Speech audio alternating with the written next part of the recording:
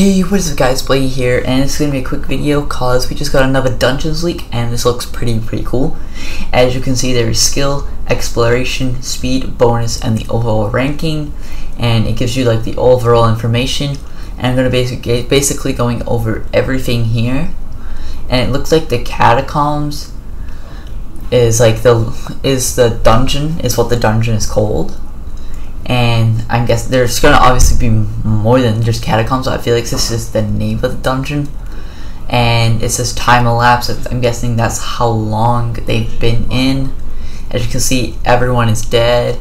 The HHHT, that's probably what their uh, class is, and the skill. I'm guessing that's how good they did overall, out of a hundred and I'm guessing exploration is like how much they've explored the dungeons, not clear, just explored.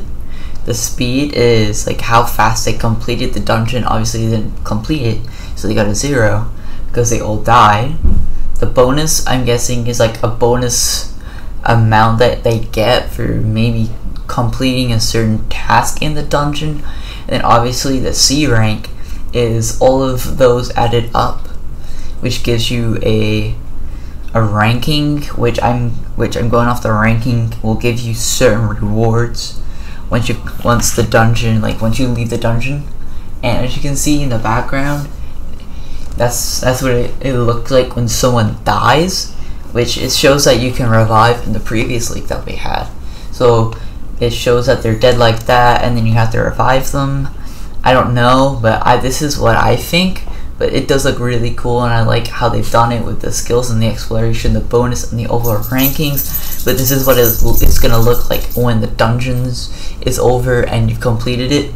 But yeah, uh, let me know what you guys think in the description of what all this means and I will see you guys next time. Peace.